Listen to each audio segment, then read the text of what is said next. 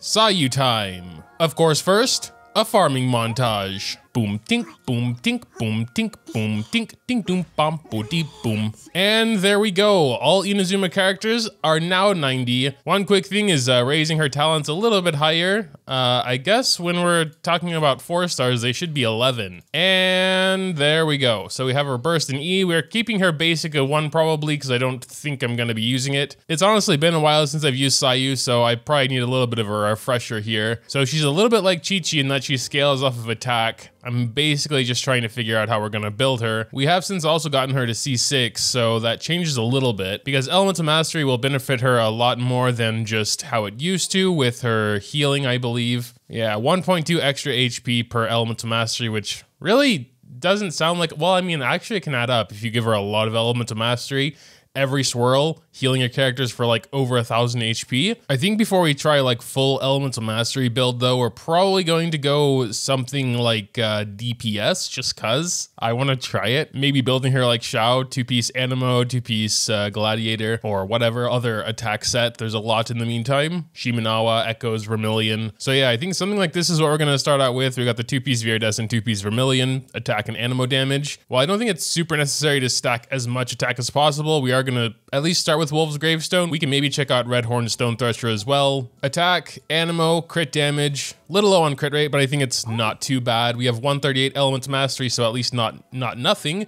maybe a little low on energy recharge as well. Of course, we're going to try her more as a healer as well. Maybe we can even try giving her clam set to see if uh, her healing can do some good stuff quickly. But yeah, here she is, uh, rolling around in a ball. Make sure to tell me what you think in the comments down below. Dropping a like or something. I think we're gonna try something like this. I would go Kaya or Kaya or however he's called, but uh, he's level 40 still. Ganyu has a pretty long lasting AoE. Of course it won't follow us, but it's pretty massive. So we'll try it. Also, and while we are just kind of building her as a DPS, I still do think probably four piece Viridescent would be better for Sayu in general because unlike Xiao, there should be some useful swirls going on. So yeah, we went ahead and did that. Her stats actually didn't change much. We did lose a little bit of crit rate, but it's not really much different. So I'm not even really sure what to try, but let's roll over onto that ley line there. Let's just see what you can do by yourself. Um, oh yeah, someone suggested that I just have this on top down and just roll around them. Actually not doing a horrible amount of damage, I think. Oh yeah, almost killed the Whopper Flower. Did take the entire duration of it, but you know, still. How about uh, her burst healing? 12k? All right, I'm actually pretty surprised. And then 7k. 7k per uh, little tick there. Definitely not bad, although it seems to have like sort of stopped hitting at one point. I don't know if there's like a certain number of enemies it can hit. Uh, but let's go ahead and do uh, the uh, whole setup here. I think the mage will probably die before Sayu does anything, but yeah, so here we go. We can just kind of roll around with everything going on. Um, yeah, didn't see anything really. We'll have to try that again. Let's just see what a kick tap does. 6,500, although that was not a critical. I'm, I, I want to try that again. Kaboom, 17k. Actually, a good amount of damage for having no no buffs or anything right now. Boom, 15k. Actually, actually kind of crazy. Just gonna roll around him. You don't have a 360 shield. Get deleted. To Whoa, 28. Yeah, that's right. I think one of her constellations uh, bumps the damage a lot, depending on how long she's rolling. Uh, so yeah, that was that was basically max damage. Although it'd probably be pretty hard to have that like still within Benny's boost or something because it doesn't last quite that long. Also, I can't believe I didn't think of Sayu while I was doing my artifact speed runs last week. I'm sure she could have shaved off probably a half a second with her rolling. That's got to be faster than the underground walkers. Oh, but she can get interrupted. I imagine she does have some sort of uh, resistance to interruption while rolling, but she still can get interrupted. I saw Wolf's Gravestone proc there. Let's see. 33k. I mean, yeah, it takes a long time to get to that level. Let's go ahead and just do Benny boost and Sayu uh, boost, Sayu burst. And I think it only hits one enemy at a time, it seems. Too bad she can't roll over water though. All right, let's see maximum kick damage in Benny Boost. Hopefully we did it fast enough. Please be a critical. 39? Was that quick enough? I can't really imagine it was because it was barely stronger. Well, we got a good amount of enemies here. Let me just go ahead and uh, get everyone's stuff going.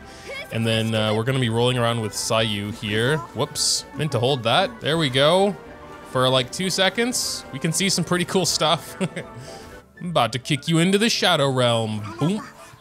I think I did this for the Raising Sayu as well, and I eventually came to the conclusion that I probably wouldn't actually use her as a DPS. She definitely can do some pretty solid damage, but I think, yeah, she definitely has more utility as a support slash healer or whatever. Still wish we could jump while a ball. That would be cool.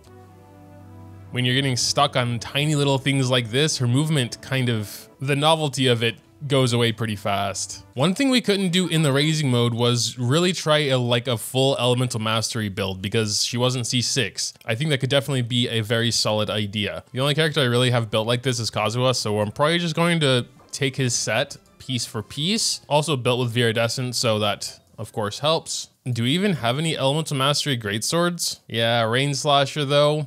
Mm, and I would have to raise it. I mean, maybe I would at some other date if I really thought she'd be like a permanent part of my team or something. Of course, create crit damage is, is not very important anymore. She still has a good amount of attack at 2258. So with 760 elemental mastery, let's uh, let's do a little bit of math, see what uh, kind of bonuses we are getting. So we'll get a damage boost by the Muji Muji Daruma, which I believe is her burst, the little dude. 0.2 per elemental mastery adds up to 152% attack a max of 400%. I don't see how that's going to be possible ever, but all right. And then three extra HP per element of mastery. And for us, that'll be 2280. So 2280 extra HP per tick. That's actually quite a lot. I got a little bit worried here because it seems like she can't heal and attack opponents at the same time with her burst, but C1 completely solves that. So yeah. And besides her C6, she also heals more with her first passive here. 1.2 extra per element mastery, so I guess around 900 or so extra from our 760. But all right, I think with all those bonuses, she doesn't necessarily need to have like healing bonus or whatever in Circlet. Uh, I think she'll be able to heal enough without. But let's put that theory to the test, shall we? So I've hurt my team quite a bit. We're gonna try and get some swirling in there, see what uh, just the swirl stuff does here. So she is fire now. Um, you can see them healing actually quite a bit.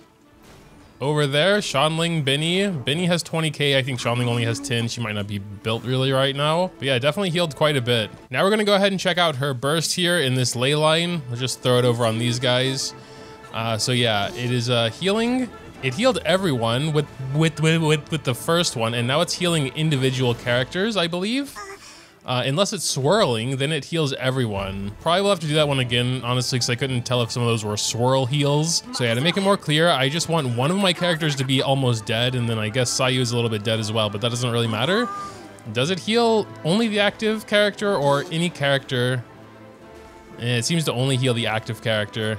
Yeah, that makes sense, but it heals a lot, 6,600. So considering that amount of healing, I think Clam Set would actually be viable. The problem is I didn't run that domain super often, and I highly doubt I have a Clam Set with a lot of Elements of Mastery. Yeah, we have 17 total. No Goblet Sands or Circlets that have Elements of Mastery as the main stats, so that's definitely not gonna work, I would say, but that that would probably be pretty interesting. I think Xiangling's good now. I've actually been using her a lot lately. I should probably 90 her soon as well. Suppose we're gonna just try floor 12 here. I still haven't really gotten to see a good Sayu ball surrounded by Pyronado and Ganyu Burst. Again, would kind of prefer Kea because it follows around and that's useful, but yeah, level 40. I'll get around to raising him one day. Alrighty then, so we do have a bit of an AoE situation here. Let's just go ahead and start with everyone's burst, I suppose. Um, get Xiangling in there. We'll go ahead and drop Sayu's burst down as well before we start rolling around. And uh, there we go. So we can kind of have it top down as well.